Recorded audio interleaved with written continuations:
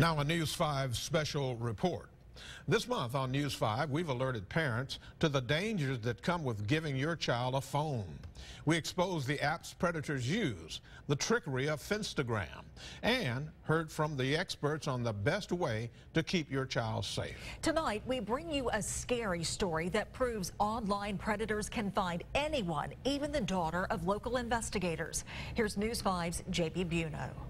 Detective Laura Soulier is the digital forensic examiner for the Mobile County Sheriff's Office. But her very first digital investigation didn't result in a mugshot, a prison sentence, or even a suspect in handcuffs. We gave uh, our daughter a cell phone. Five years ago, case number one happened in her own home. I haven't told many people this story because this is something I'm not proud of. Soulier's stepdaughter, Christine, 15 years old at the time with two parents in law enforcement, received her first smartphone, downloaded apps, and began chatting with a stranger. And he started asking questions about where I was from and what I wanted to do in life and if he if I wanted to hang out. Well, and after I told him I was 15 and he still continued to talk to me. Christine took genuine interest in Adam, a man claiming to be 23 with striking features who lived just an hour away. A clean-shaven man that had a nice jawbone and then there was one time that he sent me a shirtless picture and I was just like, "Oh, wow, you look great." He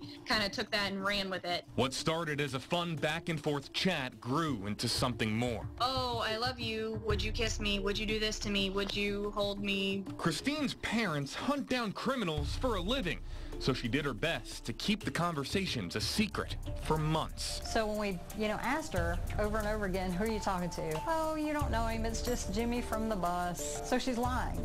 At 15, she's lying to police officers. The two even talked about seeing each other until one night Christine was finally caught and confronted by her parents. It was then Detective Soulier got on the phone and called Adam. We asked did he know how old the girl was that he was talking to, and he said yes, she's 15. Soulier did some digging and found that Adam's real name was actually Adam. He was 23 and lived where he claimed to be living. But there were lies. Adam had a criminal record and didn't look anything like the man in the pictures sent to Christine. What we found who she was actually talking to was Creepy Adam. Weighed 340, long stringy hair, literally looked like he lived in mom's basement. Whenever I found out who he was, I felt completely lied to. Adam was told to never contact Christine again. Five years later, Christine is studying hard. She wants to join the FBI. To my stepmom and my dad, I'm very grateful for what they did. And in that time, Detective Soulier has become Mobile County's go-to digital investigator with a resume that hits close to home. We almost lost our 15-year-old daughter to Kik right from underneath our noses.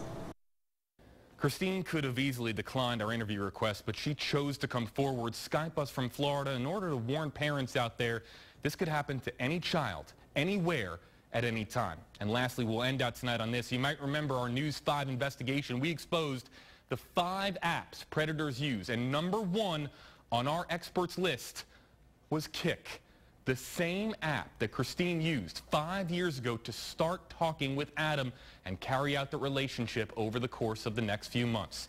This is an app still available to download despite so many stories, just like this one. With this special report from the studio, J.B. Biunno, News 5.